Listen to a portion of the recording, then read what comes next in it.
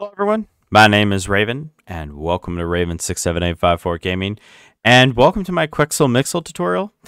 In this tutorial, we're going to take a look at one of the many ways that you can create texture uh, sets inside of Quixel Mixer.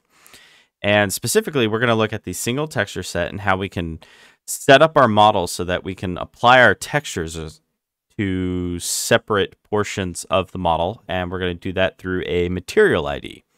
So, uh, how do we do that? Well, first we need to actually bake out a material ID. And for the sake of this tutorial, obviously I will be using Blender. However, uh, you can use any art program you like, but I use Blender, so that's what we're going to be using. So the best way to do this really is to determine, uh, you know, basically what parts of the model that, you know, you uh, want to actually be textured with, say, a different material. And I put that in quotes there. So we're just going to go and do new, and I'm going to call this matte underscore concrete. And so this will be all the portions of the model that will be, uh, well, concrete. And since this one will probably be taking up the bulk of the actual model, uh, I am just going to go on and create a new material. And I'm just going to call this Matt underscore orange panel. As well, I'd like to thank my good friend Nick for letting me uh, use his model here. Uh, it's quite nice, and it uh, makes it much more interesting than just a cube. Okay, so for the base color, because we do want to change, I'm just going to give this like an orangey kind of look here. And then I'm just going to go through and hold Alt to try and select all of this and then Shift. Okay, maybe I should not Shift. There we go. All right. And we will just assign and we'll hold Z and make sure we are in material preview. And now I'm just going to go through here and just basically just go through. And all we really, really want to do is we just want to select all the portions of our model that are going to be part of this panel here.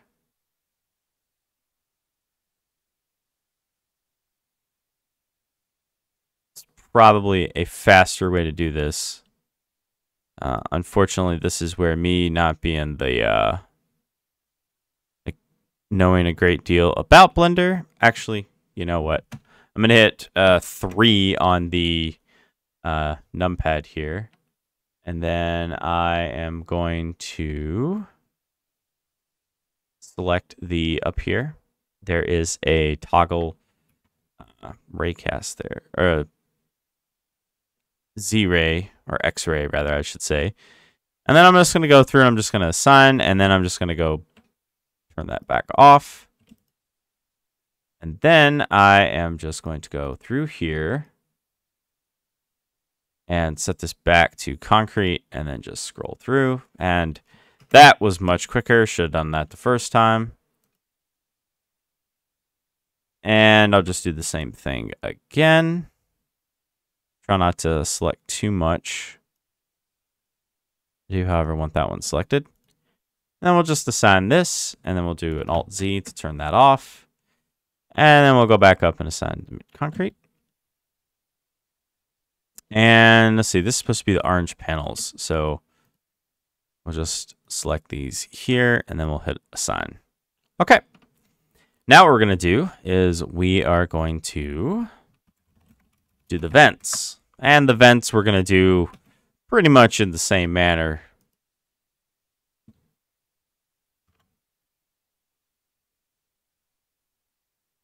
Okay. Then we're going to do an Alt-C here, and we're just going to make sure that, you know, we didn't really select anything that, you know, we didn't need to select. And make sure, of course, everything else is selected.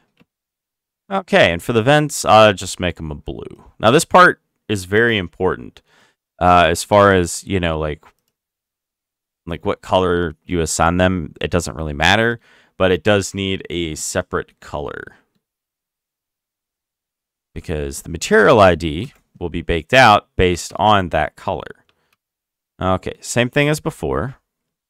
We're just going to go right on through and we'll assign the vents. And Then we'll disable that. And then we'll go back into our material concrete here.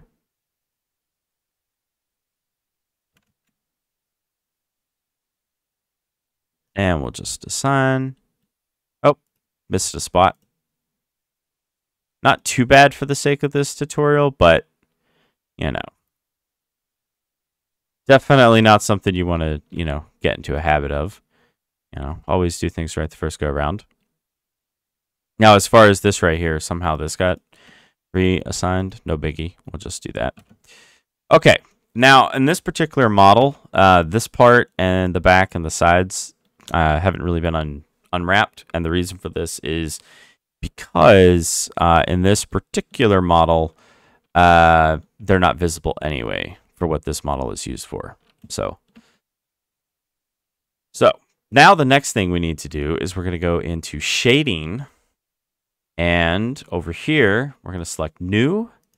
And we're going to call this material. Actually, I'll call this wall one underscore material underscore ID. And I'll set its size to 2048 by 2048. We do not need an alpha channel. And I'll hit OK. So now what we're going to do is we're going to set it up for the bake itself. So we're going to do a shift A there and do image texture. And actually, I'm going to hit control space at this point. This is so it'll full screen it. And I'll just dump it right on in here. We do not need to assign this to anything. It just needs to be in here for the purpose of the bake. And then up here, we're going to change to the matte orange one. And same thing. We're going to do an image texture. And we're going to assign our texture that we created. Okay. Then we're going to do another image texture in the vents. Perfect. And I'm going to hit control space to go back. And I'm going to go back to matte concrete there to make sure it's the first one. And uh, as you can see, everything is assigned appropriately. So if we, you know, I'm going to get out of edit mode there. And if we go through and make a change, you can see that everything is assigned as it should be. And now what I'll do is I'll go into UV Editor Texture Paint so I can see the full image here. And now we just need to bake this out into a color. So over here in Render Properties, I'm going to change the render to Cycles. And I'm going to set it to GPU Compute. And that's pretty much it. The next thing, of course, is the samples. We don't actually need that many samples because of what we're doing. So I'm just going to set it to 2. You could even set it to 1 and it should be fine. And we're going down to bake. And we're going to do diffuse. And we're only going to select the color. And then we're just going to hit bake.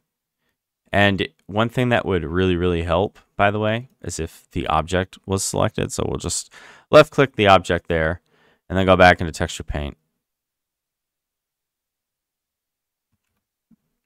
And we will just bake. And you can also select it up there. I'm not really sure why I didn't do that, but I didn't do that. So and now we'll just wait a second. And then once it's done over here, uh, you should see the UV map and everything appropriate there. Awesome. So there you have it. It did its nice little bake and everything is pretty good. Not the best UV ever. Actually, it's downright horrible. Um, but for the sake of this tutorial, to do pretty good. So now what we're going to do is we are just going to save the image out under desktop as wall1 underscore material ID, or you can save it anywhere.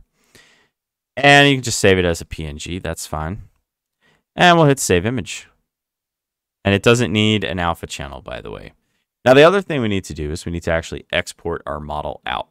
And what I'm going to do is I'm going to control, sorry, Shift D, and I'm going to duplicate this model and I am just going to remove uh, all of the materials uh, except for one.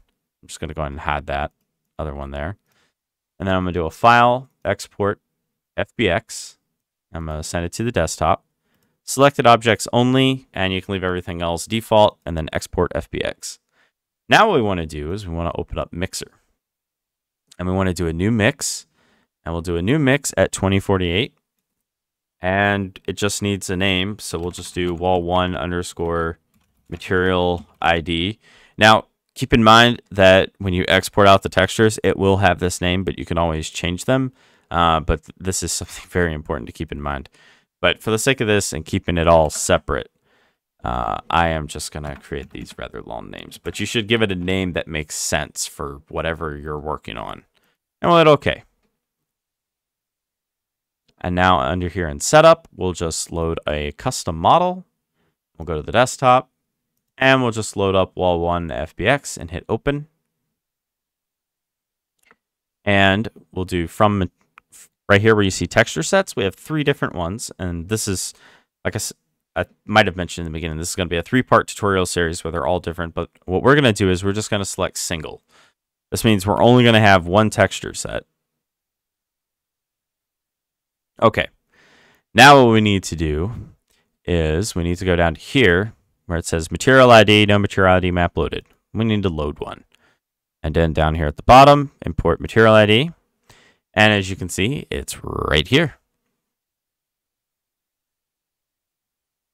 And we'll just close this out and you can see we now have our materials. And now we're just going to add a new surface layer here. And we're just going to select concrete. And I'll just select this rough concrete. This part here is not going to be very, um, like, again, this is not how to texture in Quixel. So it's going to be rather quick. So we're going to select add material ID at the bottom, or you can hit the hotkey I, and then we'll just assign this to white. And now it only affects the white texture surface. And now we'll just do the same thing. So I'll go into metal here, and I'll choose like uh, some kind of rough, mm, rusted metal. Rusted metal sheet. Let's see what this looks like. Okay, and we'll hit I, and it'll just go to the bright orange. That's good enough. And then we'll go back and I'll select this top one up here for the vent. The vent will just be a really nasty, grungy metal. And we'll just assign it to the blue. And there's a little bit of a mess up with the model here in uh, Quixel, but it's actually perfectly uh, fine once inside of Unreal or Godot or any engine you want to throw it in. Okay, so now we're going to do is we're going to go over to export and we will export everything out we want. And I don't want the displacement, so I'm going to turn that off and I will export it out at 2048 by 2048. And it will create a subfolder based on the material, uh, bas basically based on the project name. It will create a uh, folder inside of Mixer, and we'll just export it out to disk. And then what we'll do is we'll go into Mixer, and we'll go into Wall 1 Material ID, and there it is. You can see it's all here. And now you could go on ahead and channel pack if you want, which you should do. And there you have it. So now you know how to texture with Material ID. Uh, it's a very useful uh, tool. It is actually extremely useful. And in the next video, part two of this series, uh, we are going to show how to texture using multiple materials. And then from there, in part three, we'll show you how to I will show you how to texture with UDIMs. So there you have it. If you have any questions or comments or anything like that, join the Discord or you can comment down below. Uh, as well, if you would like, um, you can support this channel by becoming a member. And I will see you guys in the next one. Have a lovely day or night or evening, whichever.